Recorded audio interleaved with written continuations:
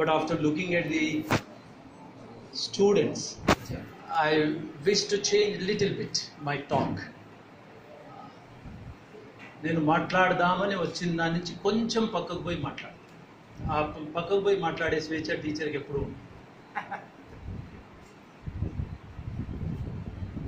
ఇక్కడ ఉన్న వాళ్ళలో చాలా మంది విద్యార్థులు ఉన్నారు కాబట్టి I primarily address them please excuse me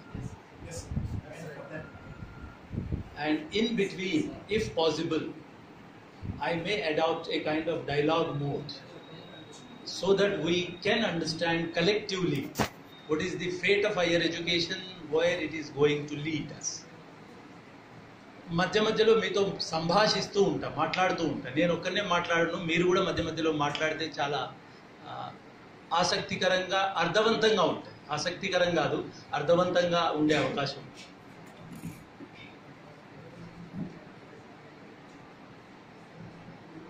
I begin my talk with one statement or one proposition or one axiom like thing in mathematics. The statement I wish to make here is because I have to talk about moral implications or ethical implications, simply say value implication.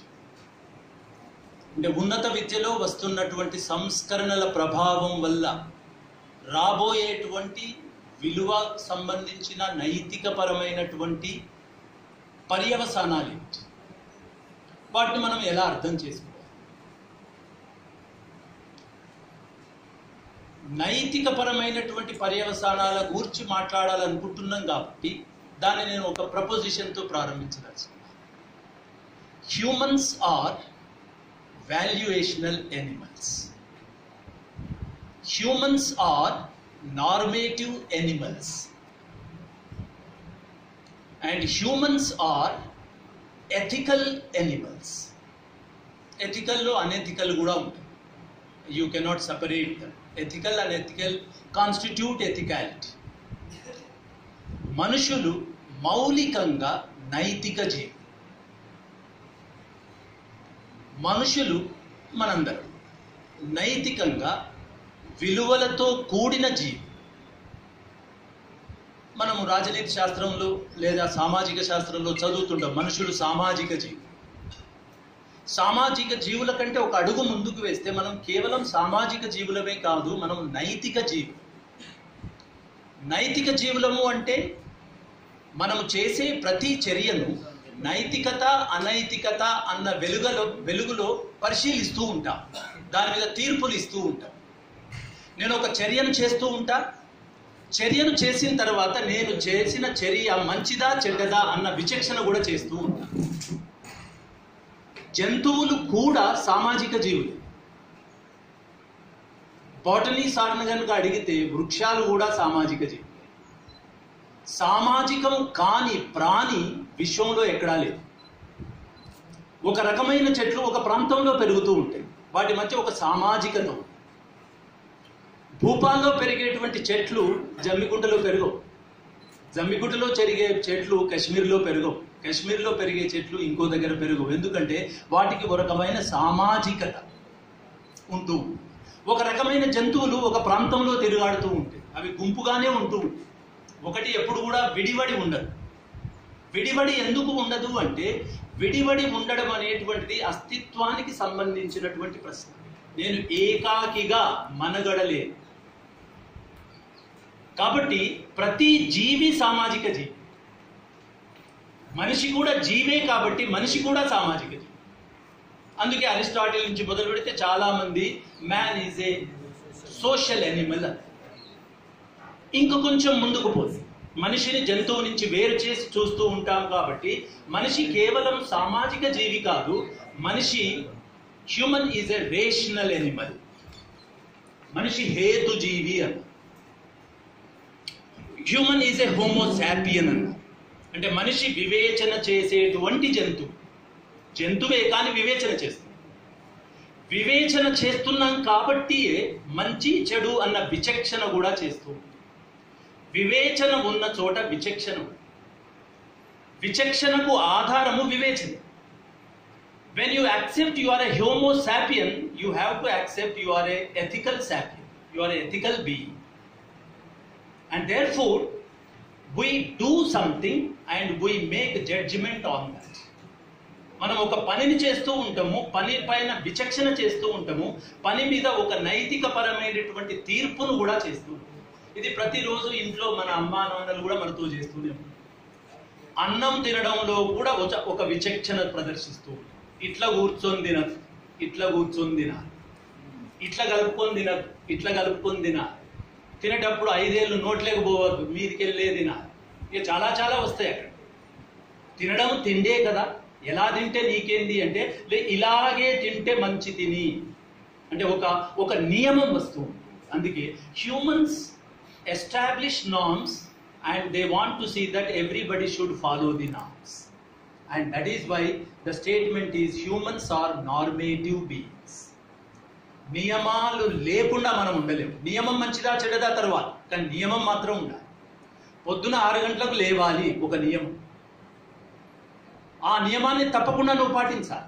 తల్లిగా నా బాధ్యత తండ్రిగా నా బాధ్యత నా పిల్లలు ఆరు గంటలకు లేస్తారా? లేవా ఎందుకు లేవాలి అని పిల్లలు అడిగితే చెప్పే ప్రయత్నం చేస్తాం చెప్పినా వినకపోతే నోరు మూసే ప్రయత్నం కూడా చేస్తాం. కాబట్టి నేను మీ అందరికి చెప్పదలుచుకున్నది ఏమిటి అంటే వి ఆర్ ఎథికల్ బీయింగ్స్ మనం నైతిక జీవులు.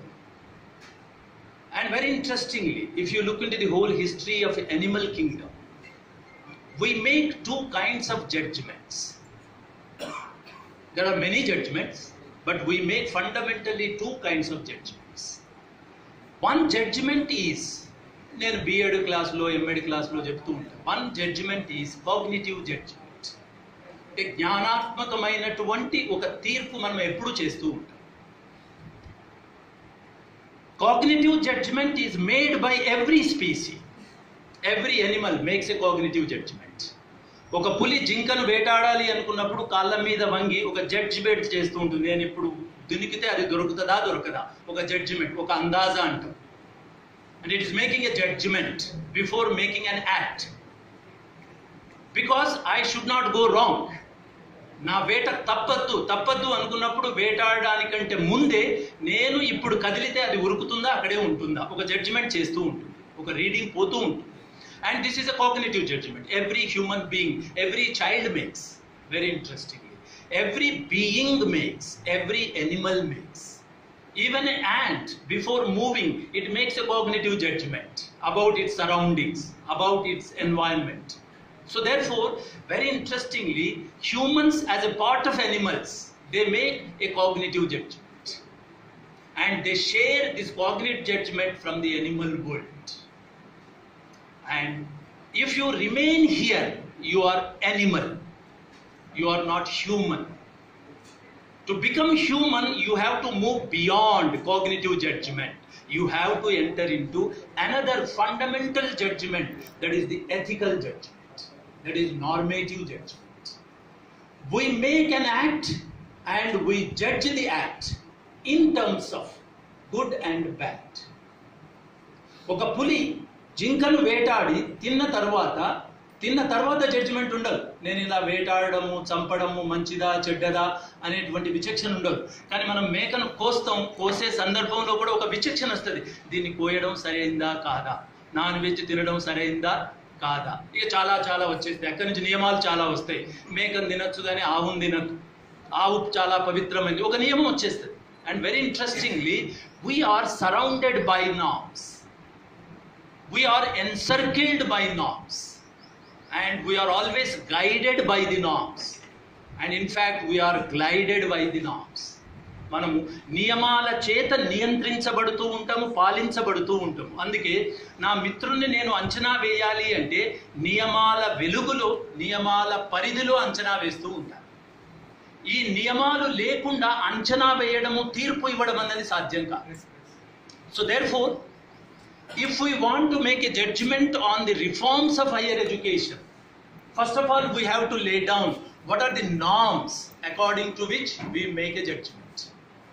So, my first submission is that we are normative beings.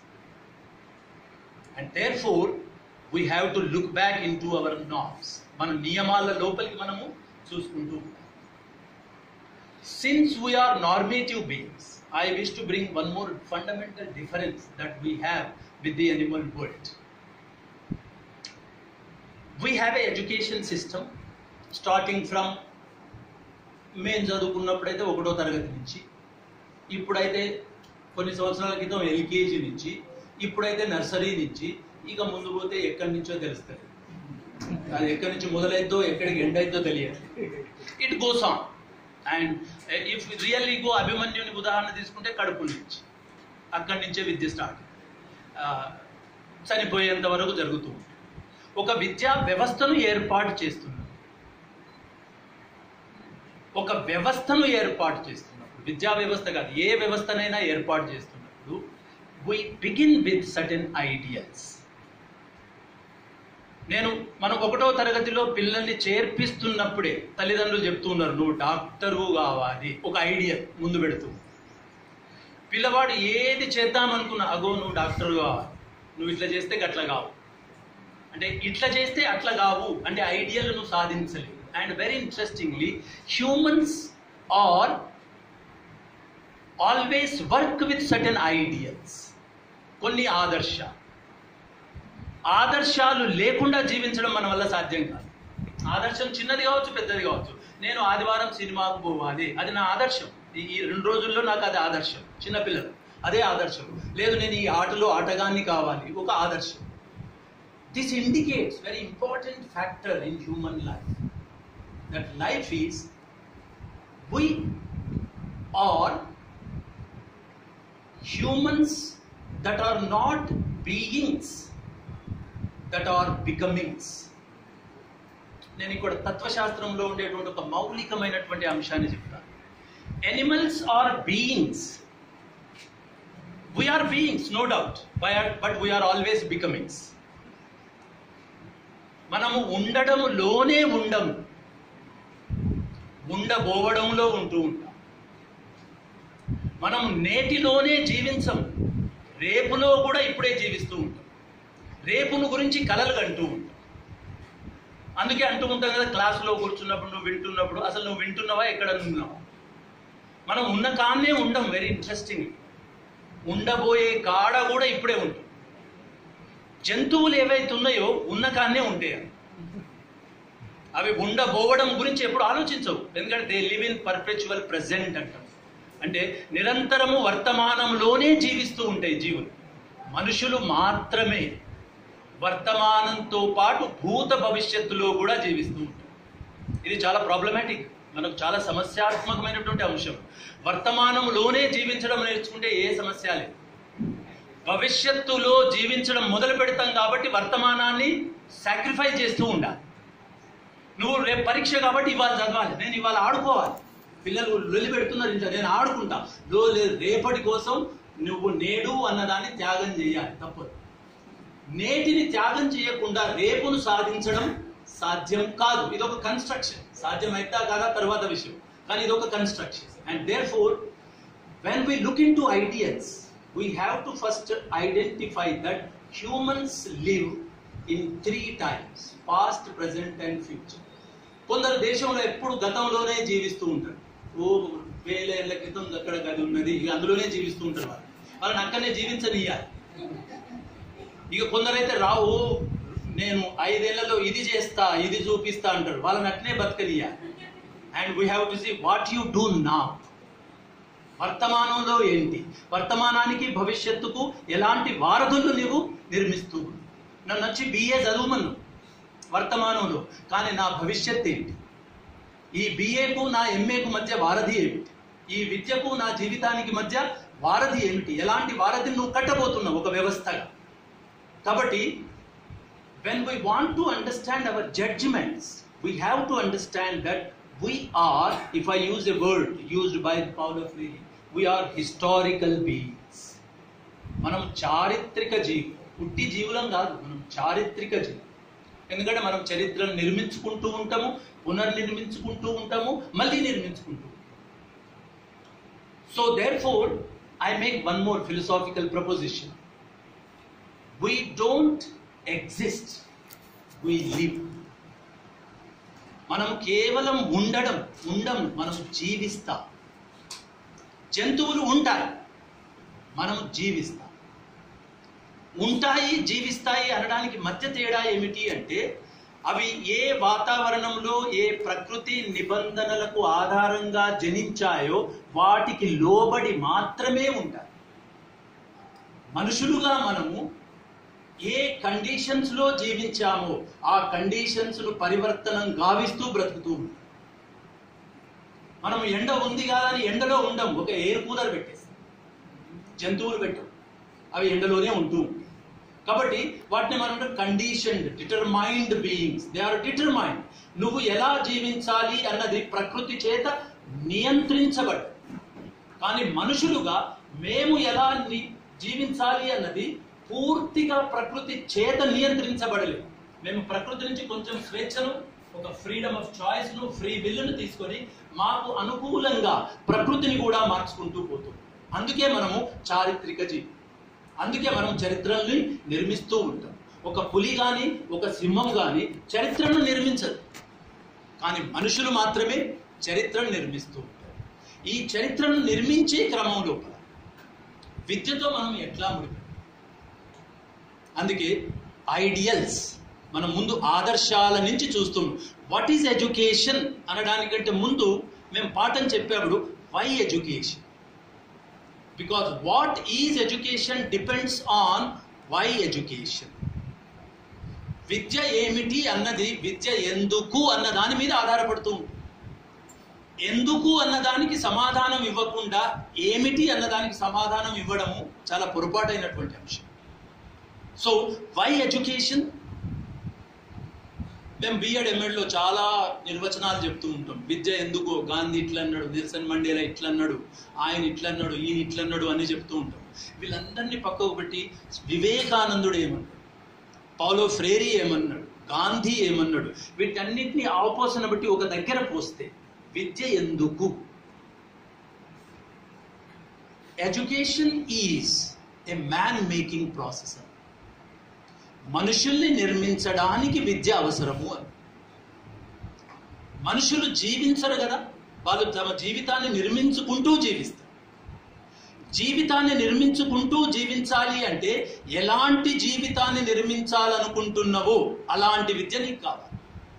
So therefore education is a man making process and Kothari commission అయితే ఇంకా కొంచెం ముందుకు అడుగుపోయి education is a nation building process ఆయన ఇంకా ఒక అడుగు చాలా ముందుకేసి ఇది కేవలం మనిషిని మాత్రమే నిర్మించదు ఒక జాతిని ఒక దేశాన్ని ఒక ప్రపంచాన్ని నిర్మిస్తుంది అని.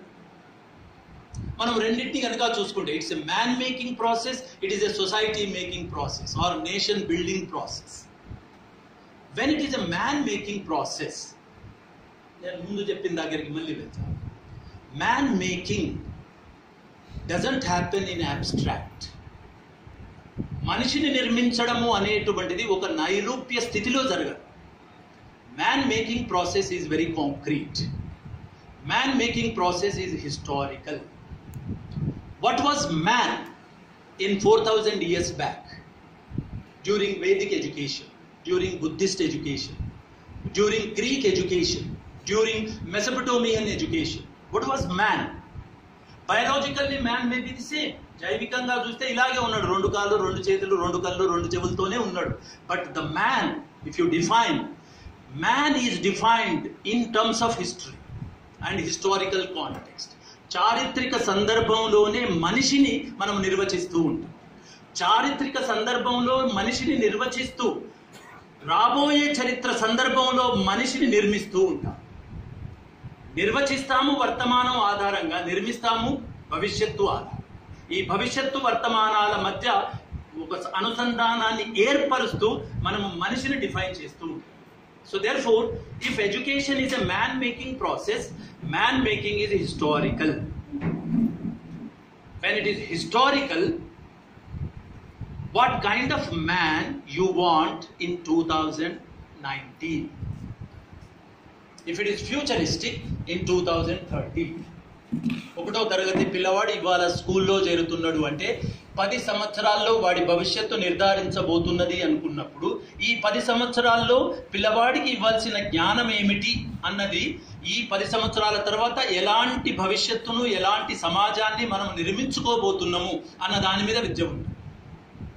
So therefore man making is historical and the ideals of education are always determined by this విద్యకు ఉండే ఆదర్శాన్ని నిర్మిస్తున్నప్పుడు if I go back to Vedic or Buddhist education ఎవరికి విద్య అన్నది కూడా ఎందుకు విద్య అన్నదాన్ని నిర్మిస్తూ ఉంటుంది రివర్స్ ప్రాసెస్ కూడా ఉంటుంది. ఎవరికి విద్య? విద్య అందరికా? విద్య కొందరికా? విద్య కొందరికి అయితే విద్య ఎందుకు అన్నది వేరే ఉంటుంది. విద్య అందరికీ అయితే విద్య ఎందుకు అనేటువంటి ఆదర్శము మారిపోతూ సో దేర్ ఫోర్ కొందరికే విద్య అయినప్పుడు విద్య యొక్క లక్ష్యం మారిపోతుంటుంది. అందరికీ విద్య అయినప్పుడు విద్య యొక్క లక్ష్యం మారిపోతూ వేదకాలంలో కొందరికే విద్య అన్నది కాబట్టి విద్య యొక్క లక్ష్యము మారిపోయింది. మీరు మన ఇతిహాసాన్ని కనుక కాస్త అధ్యయనం చేస్తే వెరీ ఇంట్రెస్టింగ్ శబ్దం ఒకటే ఉంటుంది కానీ అర్థం మారిపోతూ if you read Katha Upanishad or any Upanishad the purpose of education is to liberate the man Mao Tse-tung also set the same thing the purpose of education is to liberate the human And very interestingly, across the globe in all the civilization, most of the educational thinkers said that the purpose of education is to liberate. Liberate tamasoma jyotirgamaya. From darkness to light. And very interestingly, liberation is not an abstract word. You have to fill it with the content. దేని నుంచి విముక్తి? అది చాలా ప్రధానమైనటువంటి ప్రశ్న. సమస్యాత్మకమైనటువంటి ప్రశ్న. ఆజాదీ. ఉన్నాయా JNU పిల్లలు నలుగురు. ఆజాదీ ఆజాదీ అన్నారు.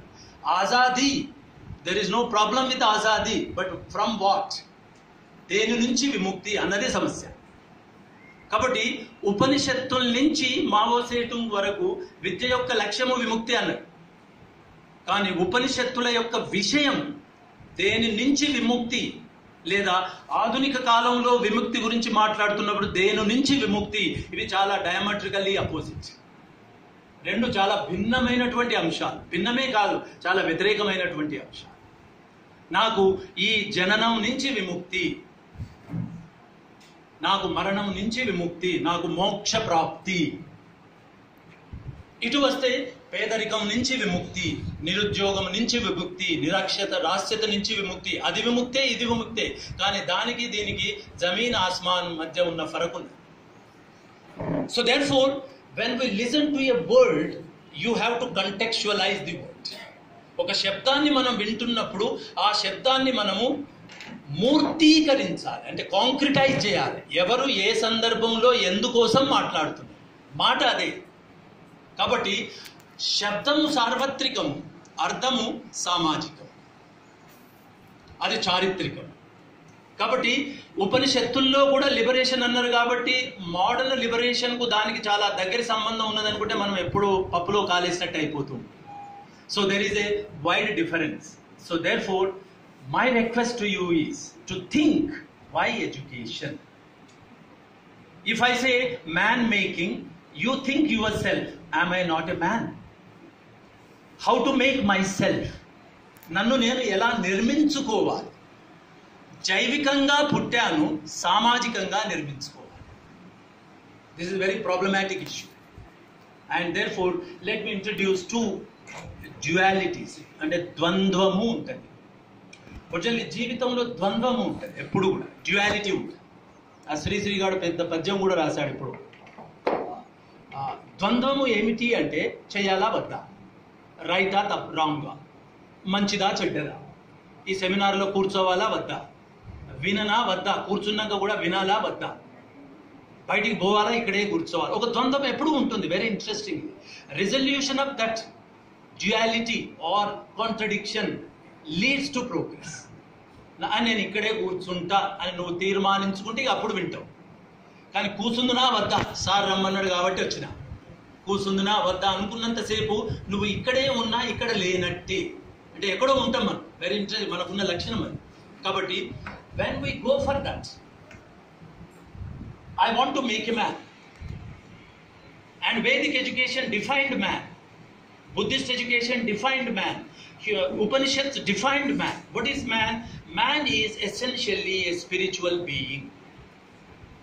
మనిషి అవశ్యకంగా ఒక ఆధ్యాత్మిక జీవి కాబట్టి నీ ఆధ్యాత్మికతను నువ్వు సెల్ఫ్ రియలైజ్ చేసుకో అందుకే ముక్కు మూసుకొని నువ్వు తపస్సు చేసుకుంటూ కూర్చో నీకు ముక్తి వస్తుంది లేదా మోక్షం వస్తూ ఉంటుంది చెప్పింది అది దాన్ని పాటించిన వాళ్ళు ఉన్నారు ట్రూగా బిలీవ్ చేసే వాళ్ళు కూడా ఉన్నారు. It is they have that freedom to believe in very everybody has freedom to believe in but once you propagate why question నువ్వు విష్- నమ్మేటువంటి స్వేచ్ఛ నీకుంది కానీ ప్రజల్లోకి వచ్చి చెబుతున్నప్పుడు ప్రశ్నించే స్వేచ్ఛ మాకు.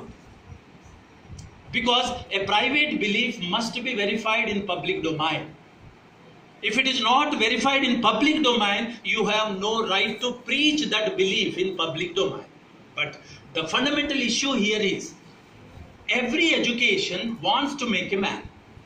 The first, if you go to any education system, starting from Greek to Vedic education, they fundamentally looked at human being as a spiritual entity దాని వెనుక ఐడియాలజీ ఏమిటి అందులోకి నేను ఇప్పుడు మనం పో why why believe that now if you want to say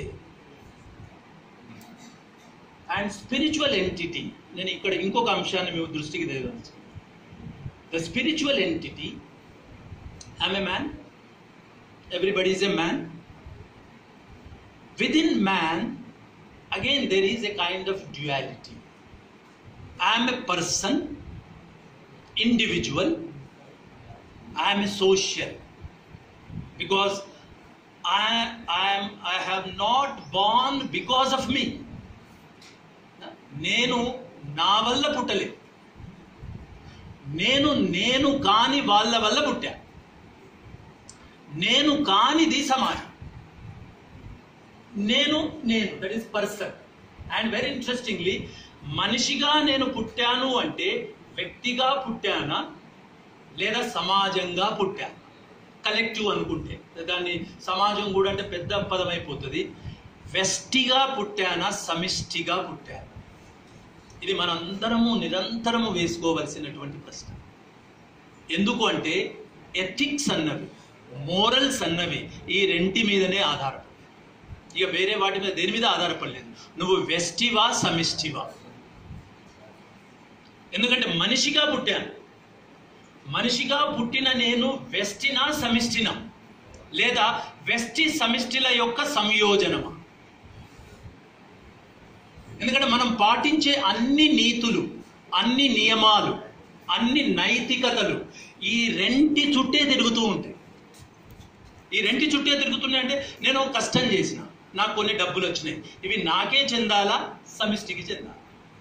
లొల్లంతా ఇక్కడి నుంచే స్టార్ట్ అయింది మొదటి నుంచి ఇక్కడి వరకు చూస్తే ఇక్కడి నుంచే స్టార్ట్ అయింది కాబట్టి మొదట్లో వచ్చిన విద్యా వ్యవస్థలు very interesting they defined man is essentially a individual వెస్టీ అని చెప్పారు. అందుకే నీ మోక్షం రావాలి అంటే నువ్వు ముక్కు కూర్చొని తపస్సు చేసుకో. మిగతా వాళ్ళ మోక్షంతో నీకు సంబంధం లేదు. It is a purely individualism a spiritual individualism సమాజంలో భాగంగా సమాజ కష్ట సుఖాలలో భాగంగా నా సుఖం కూడా ఉన్నది అనుకుంటే నువ్వు సమిష్టివైపోతున్నావు లేదు నా సుఖం నాదే. నా బాధ నాదే నా మోక్షము నాదే నా మోక్షానికి నీ మోక్షానికి సంబంధం లేదు అంటున్నాను అంటే మనిషిలో ఉన్న వెస్టి పార్శ్వం వైపు నేను మరలిపోతున్నాను కాబట్టి అన్ని మతాలు very interestingly they defined human essentially as an individual వెస్టిగానే పవి- నిర్వచించారు. దాన్ని monastery and very interestingly market defines you as an individual మొదటి మతము నేటి మార్కెట్. మనల్ని వ్యక్తులుగానే చూస్తాయి కానీ సమిష్టిలో భాగంగా చూడు. And very interestingly education ideals are drawn from these two విద్యకు ఉండే ఆదర్శాలు మనిషిలోని వెస్టి సమిష్టిని నువ్వు ఎలా చూస్తావు అన్న దాని మీద ఆదర్శం ఉంటూ మొదటి మతం నిన్ను వెస్టిగానే చూసింది వర్తమానంలోని మార్కెట్ నిన్ను వెస్టిగానే చూస్తుంది. ఈ రెండు మతము మార్కెట్ మధ్య వచ్చినటువంటి కొన్ని రాజకీయ ఉద్యమాలు నిన్ను సమిష్టిలో భాగంగా చూశాను నేను సమిష్టి అన్నా అందుకే విద్య యొక్క ఆదర్శము మనిషిని తయారు చేయడం. వాళ్ళు మనిషినే చేస్తున్నారు వీళ్ళు మనిషినే చేస్తున్నారు. A socialist man is also a man a capitalist man is also a man a spiritual man is also man but మనిషిలోని పార్శ్వాల్ dimensions whether you are a one dimensional man or multi dimensional man వాటిని మనం నిర్ధారించుకుంటే విద్యకు లక్ష్యం ఏముండాలి అన్నదాన్ని మనము చేసుకోవచ్చు. And religion essentially defined you as a spiritual entity and market essentially essentially defines you as a economic animal నిన్ను ఆర్థిక జీవి వ- వరకు కుదించి వేస్తూ ఉంది. ఆర్థిక జీవికి వెలుపల సామాజిక జీవి సాంస్కృతిక జీవి చాలా పార్శ్వాలు ఉన్నాయి మనకి. ఆ పార్శ్వాలన్నింటినీ వెనకకు తట్టించి ఆర్థికాన్ని ముందుకు పెడుతుంది. మొదటి ఆర్థికాన్ని పెట్టింది ఇది ఆర్థికాన్ని పెట్టింది. ఆర్థికం అంటాం కదా చచ్చిపోయినప్పుడు చేసేది ఆర్థికము బతుకున్నప్పుడు చేసేది ఆర్థికం ఈ రెంటి మధ్య ఎక్కడో సమిష్టి ఉండాలి. అందుకే మీరందరూ తెలుసుకోవాలి మనందరం తెలుసుకోవాలి నేను వెస్టినా సమిష్టి. నాలో వెస్టి పాలెంత సమిష్టి పాలెంత సమిష్టిని కేంద్రం చెయ్యకపోతే వ్యక్తి కేంద్ర ఆదర్శం విద్యకు వస్తుంది. సమిష్టిని కేంద్రం చేస్తే సమాజ కేంద్ర ఆదర్శం విద్యకు వస్తూ so therefore my submission is whether education policy whatever the policy reform whether it is taking into consideration the collective or individual ఏం చెప్తున్నాను బడికి మమ్మల్ని పంపేప్పుడు మా తల్లిదండ్రులు బడికి పంపేప్పుడు మాకు ఏం చెప్పింది మిమ్మల్ని బడికి పంపినప్పుడు మీ తల్లిదండ్రులు మీకు ఏం చెప్పింది ఇప్పుడు పొరగాలను బడికి పంపేటప్పుడు ఎల్కేజీ యా ఒకటో తరగతికి తల్లిదండ్రులు పిల్లలకి ఏం చెప్తున్నారు ఈ మూడింటి ఒక దగ్గర పెట్టి చూడండి సమిష్టి నుంచి వెస్టి వైపు మెల్లగా పోతుంది. ఎందుకంటే మా అబ్బా ఎప్పుడు నన్ను అడగలేదు నువ్వు క్లాసులో ఫస్ట్ వస్తున్నావా? అని. బడికి పోతున్నావా అందరితో గుమిగూడి చదువుకుంటున్నావా లేదా? ఇది దాని మాట. కానీ ఇప్పుడు తల్లి క్లాసులో ఫస్ట్ ఎందుకు వస్తలేవు? ఒరిజినల్ క్లాసులో ఫస్ట్ ఎందుకు వస్తలేవు అంటేనే నిన్ను సమిష్టి నుంచి దూరం చేస్తున్నావు నువ్వు ఫస్ట్ రావాలి ఫస్ట్ రాకపోతే నువ్వు బేకార్. అసలు బ్రతుకుడే దండుగా. అందుకే పూర్వకాలు ఆత్మహత్యలు చేసుకుంటావు అంటే ఏమిటి అంటే తల్లిదండ్రులం అంటే మన పౌర సమాజము అనుకున్నది వెస్టివాదాన్ని ఎక్కడో ఒక దగ్గర అంతరీకరించుకున్నాం. అంటే ఇంటర్నలైజ్ చేసుకున్నాం. సమిష్టి గురించి సభల్లో మాట్లాడిన వెస్టిత్వము నా అస్తిత్వం అయిపోయింది. వెస్టిత్వము నా అస్తిత్వం అయిపోయిన తర్వాత సమిష్టి తత్వం అయిపోతుంది. అది అస్తిత్వం కాదు అంటే తత్వం బయట మాట్లాడుకోవడం. So therefore very interestingly two educational system flourished in the ancient world and in the twenty first century both are pushing individual at the center and can we push collective at the center and all the reforms వాటి వెనుక ఉన్న నీతి ఏమిటి అంటే వెస్టి నీతి. అంటే వ్యక్తి నీతి. దాని కొంచెం zoology భాషలో చెప్పాలి అంటే survival of the fittest Darwin చెప్పాడు కదా జంతువులన్నీ ఏది బతకగలిగితే అది బతకగలుగుతాయి. కాబట్టి నువ్వు బతకగలగాలి అంటే మిగతా వాళ్ళతో కొట్లాడుతూ ఉండాలి. And very interestingly school is the biggest culprit to develop this competitive spirit మనం చాలా గర్వంగా చెప్తూ ఉంటాం కదా పోటీతత్వం. పోటీతత్వం పెరగాలి. ఎవరితో పోటీ పడాలి? ఎందుకంటే మేము ఎంఏ చదివేటప్పుడు అప్పుడే పోటీతత్వం కాకతీయ యూనివర్సిటీలోకి వస్తూ ఉండేది. మాకంటే ముందున్న వాళ్ళంతా సమిష్టి తత్వంతో పెరిగిన వాళ్ళు. మా దగ్గరికి వచ్చేసరికి సగం సమిష్టి సగం వెస్టి మెల్లగా వచ్చింది. అందుకే మా క్లాస్మేట్లో మేమందరం కూడా వెస్టి తత్వంలో ఉండేది ఏమిటి అంటే నీ గెలుపు నీ గెలుపు మీద ఆధారపడదు. పక్కవాడి ఓటమి మీద ఆధారపడదు. నా ఒక్కడి గెలుపు పక్కవాడి ముప్పై మంది ఓటమి మీద ఆధారపడదు. కాబట్టి నేను ఎలా గెలవాలి అన్నది ఆలోచించాలి అంటే వాళ్ళు ఎలా ఓడిపోవాలి అన్నది నేను తప్పకుండా ఆలోచించాలి. అలా ఆలోచించకుండా నేను గెలవలేను అది సాధ్యం కాదు. ఎందుకు అంటే నా గెలుపును సమిష్టిలో భాగంగా గెలుపుగా చూడట్లేదు. నా వ్యక్తి ప్రతిభగా చూస్తూ ఉన్నాను. ప్రతిభ అన్నటువంటి ఆలోచన అక్కడి నుంచే వస్తూ ఉంటుంది. బాగా నేనే ప్రతిభావంతుణ్ణి ప్రతిభ అంతా నాదే. నాకు తప్పిస్తే ఇంకొకరికి ప్రతిభ లేదు. ఇలాంటి ఆలోచనకు స్కూల్ పునాది వేస్తూ ఉంటుంది కాంపిటేటివ్ ఎగ్జామ్స్. వారం వారం పరీక్ష వారం వారం ప్రోగ్రెస్ కార్డు వారం వారం నీకు నీ మిత్రునికి మధ్య పోటీ పెడుతూ ఉంటుంది. ఇంటికి పోగానే అమ్మ నిన్ను తిట్టదు వాణ్ణి చూపిస్తూ తిడుతుంది నన్ను నన్ను తిడితే నాకేం కోపం రాదు వాళ్ళని చూపించి తిడితే నాకు కోపం అంటే కంపారిజన్ ఎప్పుడైతే నా ఇంటి పక్క వాడిని చూపించి వాడి కంటే నన్ను తక్కువ చేసి నన్ను తిడుతూ ఉంటావో వాడితో నాకు ఒక రకమైన శత్రుత్వము మెల్లగా ప్రారంభం education is a beautiful tool to perpetuate the inequalities అంటే సమాజంలో ఉన్నటువంటి అసమానతల్ని మానసిక స్థాయిల్లో పాదుకొలపడానికి విద్య అన్నది ఒక బ్రహ్మాండమైన ఆయుధంగా పనిచేస్తుంది. ఇప్పుడు వస్తున్నటువంటి విద్యా విధానాలన్నీ ఈ ఈ ideological structure ఏదైతున్నదో psychological level very interesting process మానసిక స్థితిలో నువ్వు అసమానతల్ని అంగీకరించావు అంటే నువ్వు నిరంతరము పక్కవాడితో పోట్లాడడానికి సిద్ధంగా ఉన్నట్టు మానసిక స్థితిలో నువ్వు సమానత్వాన్ని అంగీకరించి సమిష్టి తత్వంతో ఉన్నావు అంటే పక్క వాళ్ళతో పోట్లాడడానికి ఉండం మనం. పక్క వాళ్ళతో కలిసిపోవడానికి కృషి చేస్తూ ఉంటాం. So therefore very interesting education by its very nature అంటే విద్య అన్నది స్వాభావికంగానే వ్యక్తివాదాన్ని ప్రతిస్పందిస్తుంది. అది ప్రతిపాదిస్తుంది. ఎందుకు వ్యక్తివాదాన్ని ప్రతిపాదిస్తుంది అంటే ప్రతిపాదించడం కూడా కాదు. వ్యక్తివాదము ప్రబలిపోతుంది. విద్య వల్ల ప్రబలిపోతుంది అంతే. ఎందుకు ప్రబలిపోతుంది అంటే that is the cognitive process నేను ఇక్కడ ఒక అరవై మందికి ముందు మాట్లాడు.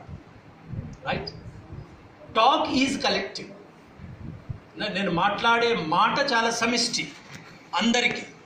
కానీ రిసెప్షన్ ఈజ్ పర్సనల్ మీరు స్వీకర్తలు ఎవరైతే ఉన్నారో వాళ్ళు వైయక్తికంగానే స్వీకరిస్తూ ఉంటారు. కాబట్టి సమిష్టి మాట వ్యక్తి వినడంగా మారిపోతూ ఉంటుంది.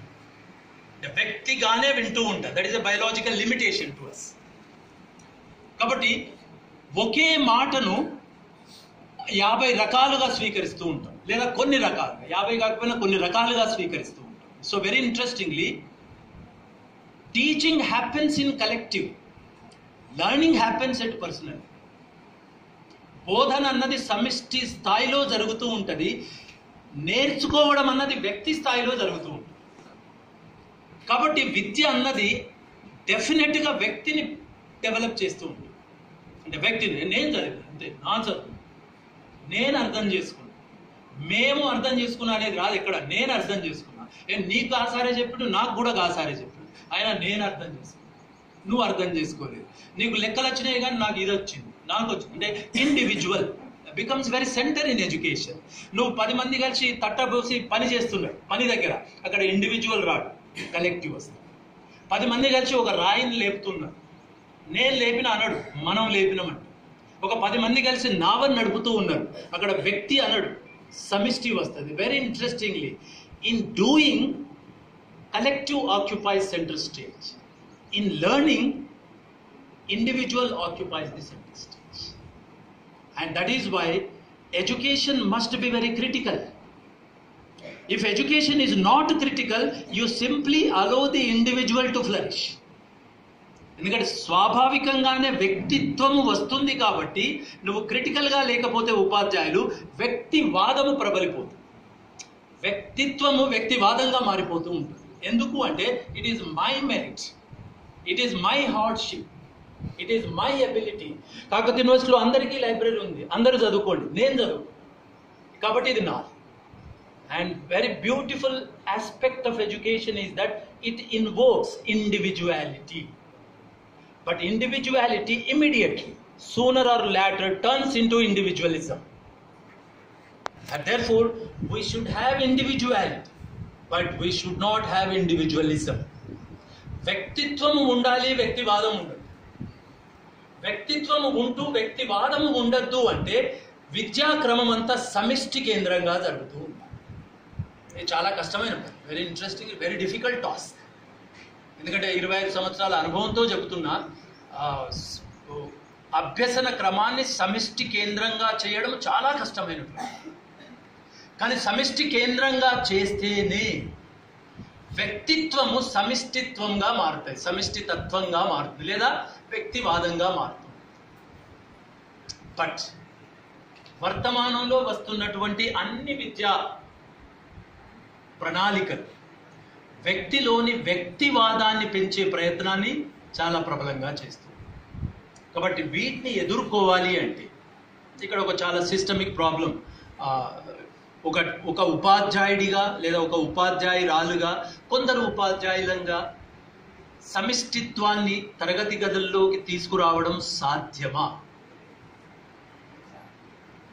And Paulo Freire always talks education should always talk about possibilities it should not talk about limitations పరిమితులు చాలా ఉంటాయి కానీ విద్య అన్నది ఆవశ్యకంగా పాసిబిలిటీస్ గురించి మాట్లాడాలి.